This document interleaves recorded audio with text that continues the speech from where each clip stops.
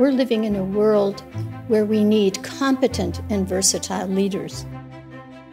Leaders have great responsibility to navigate successfully uh, changes in order to create a better future.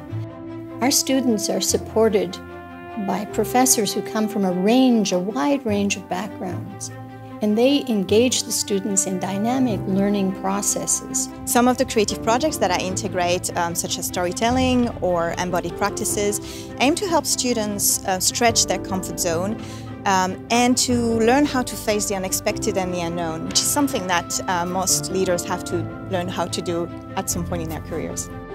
They lead us to learn with rigor, uh, with compassion. They want to challenge us to be the best whole person we can be. And that means our mind, our spirit, our heart, and our body. One thing we learn is compassion. I chose to do my master's in transformative leadership and spirituality in order to give deeper meaning to my vocation as a teacher. They get to bring their professional development and also their relational skills. And that in turn allows them to embody what transformative leadership is about.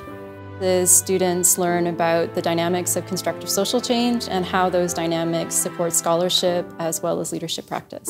So they gain a sense that uh, there's not only one way to become an effective leader, and um, hopefully that is a sense of possibility that they can bring into their own communities and contexts.